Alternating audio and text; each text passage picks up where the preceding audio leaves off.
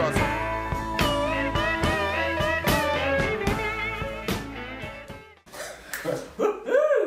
okay, so hi everybody, this is Mahmood. And this is Serena. And we're the Numbers Rockstars. Okay, so today we're going to talk about the importance of having trust within your business. Over to Mahmood is going to talk you through it. Thank you very much, Serena. So, trust is an essential foundation in your business. It also has a lot in common with credit control, so we're going to tie the two themes together.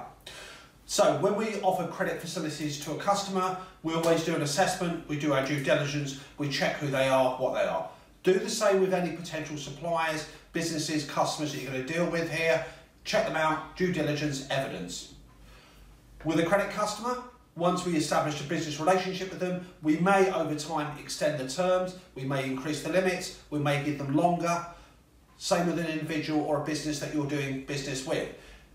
If things go well, then we can extend the depth of the relationship we have with that individual or business. Thirdly, when you're dealing with credit control, absolutely key that you've got the systems and you've got a way of monitoring what's going on, reporting, performance, etc. It's the same with your business relationships, it's the same with the people that you do business with.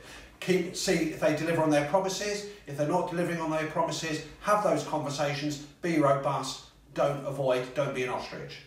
And lastly, in the final analysis, if those terms aren't being complied with, then we've got action, whether it's reminder letters, the final nuclear option, it's the same with business relationships. If the trust is breaking down and they're not quite delivering, then the nuclear option is to walk away with any potential consequences that come after. Thank you very much. Hope you found this useful. Okay, guys, so get over to Facebook, LinkedIn, like us, make some comments. Also, give us a call if you've got any problems with your business, with credit control, any other issues, give us a call. Okay, guys, until next time, ciao. Ciao.